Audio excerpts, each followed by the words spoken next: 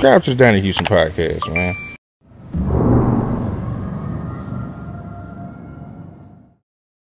Man, talk about um, Chucky Trill, man. How y'all end up, you know, connecting, making that connection? A few people uh, was telling me um, that I need to check Chucky out. I, he need a manager. He really, you need to manage him. And uh, at the time, I had a few other people that I was managing, and I wasn't really thinking about getting, um, you know, responsible for somebody else at the time. So, the artist that I was managing wanted a feature from Chucky, and we go to the studio, and Chucky gave him a verse and a hook, right? And both of them was fire. I'm like, God damn, this little motherfucker jamming. So, my artist that I had, like, man, you need to manage him. I'm Like, man, I might, I might have to sit down and talk to him. So me and him, we we talked, and uh, I took on that, you know, responsibility with him. And what I saw was like a, uh, it was so much. This boy got so much love and attention in a short period of time. We would be out, and like the Hispanic community loved him. We would be out somewhere, and they'd just be, Jay Trill. Like he'd have made it, right? And I used to see that back in the day. You know, when people had them little one single songs, you know, and and you start getting that shine before you really get popping. Like he reminded me of like that old school artist, like just natural. They love this little dude. He just had a star, a stardom about himself, you know, and he carried it well. He took care of his business. He was a bad motherfucker in the booth, um, and you know, I just hate that that shit happened to him. I really do. I hate that shit happened to him because he was at he was at that point where that next album was gonna be uh, the one that was gonna help him, you know, catapult his career. Cause I, I he definitely wife, had the talent, bro. Like oh, Chucky yeah. had that talent, bro. He had it. Yeah, he could sing. He could rap. He can. Um, he know how to make songs. He know how to make songs. He know how to put that shit together, man. And I used to sit in the studio and didn't have to say shit. Like he would put that shit together on the production side, from the booth. Yeah, he was he was a he was a cold music, musician, you know, singer, a rapper, you know, putting the music together. He was a bad motherfucker. Yeah. Did you you know everything came out with the first forty eight episode and all that? did you know some of the things he had going on at the time and never hollered and be like, hey, bro, we need to kind of, we got other shit going on? Man, I remember all that shit very clearly. When this shit happened, when he told me about it, we sit down at the studio, me, him, and his uncle. And he told me the story. I looked at him in his face, and I said, "You know I got a lot of love for you, man, but I don't believe you." Hmm. Because he told me the story, what he wanted to put out there. Like, i don't believe it. So if I don't believe you, you think this nigga believe you? And not even if he don't believe you, or if he believe you. Wait, so he told you what really happened and then told you the way he wanted to portray, it, or he's just nah, not he he's not keeping it straight with you when he telling you. Telling you, man, I ain't, I ain't got nothing to do with that.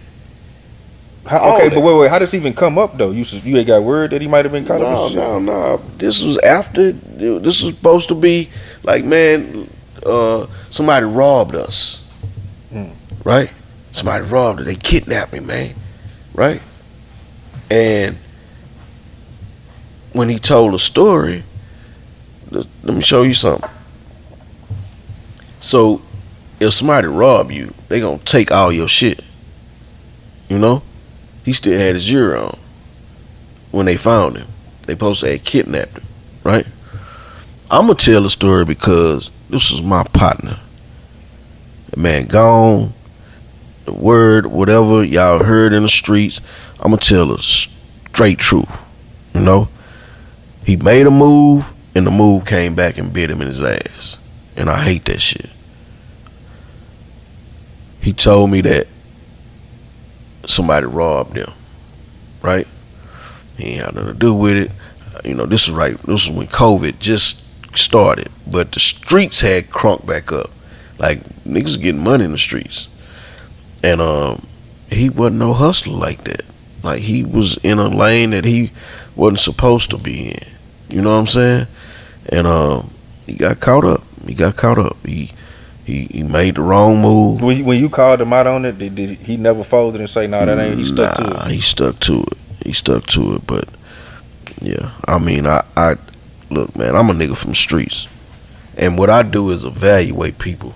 With the job that I do, when we going out of town, I gotta know who the fuck I'm going out of town to go do some business with. I don't know this nigga, but he say he got twenty thousand. He done sent the deposit. He answering the phone all the time. He taking care of the business on the flights. He taking care of everything he's supposed to take care of. I kind of trust this nigga. When we land, boom, he answering the phone. Okay, he, he gave me the back end. We good. That's good business. But once you start doing a little bullshit, and shit. Yeah, yeah. yeah. you know, so um, just hearing his story, thinking about it, nah. So you know, he was supposed to be paying the nigga back some of the bread to keep the shit, you know, Keep it cool. Yeah. at, as cool as possible. And then he just stopped. Stopped. He was like, man, I can't see myself paying no nigga for no shit like that. I ain't had nothing to do with. Right? I was like, man, well, you better muscle up. You know what I'm saying? You better be ready. Cause nigga ain't gonna play about that type of shit, man. Niggas getting killed over a thousand dollars now. You know what I'm saying? It's the motherfucking pandemic. So, you know, what made me stop letting Chucky do any shows was he had a show one night. Um, I can't remember what side of town it was on, but the whole time I had my pistol in my pocket. It was cold, and I had my hand on my pistol the whole night. When he pulled up, you know, he was deep, all that. Nigga don't give a damn about none of that shit. If you want your man, you gonna get your man. So when he pulled up, he do the show. After the show, and I'm riding home, and I'm like, nah, this ain't worth that, bro. Mm. It's not worth that to be You gotta Oh. move like this. You got out the streets to get away from that shit. Yeah, right, it- right. It's, it's not worth that, man. You know, I don't have nothing to do with what you did, but you gonna fuck around and get got at one of these shows. I talked to him just like this. I say, man, we gonna cancel any performances until we get this shit right.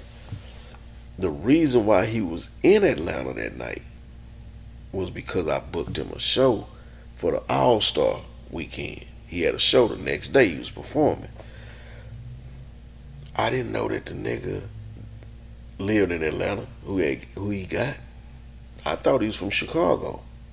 That's what you know. That's what I heard. But I also had heard that he was in the H looking for Chucky, right? So that's your thinking of shit. I'm gonna get you out of here. No, I just I would just yeah, you gonna do something out of the hmm. city, right? But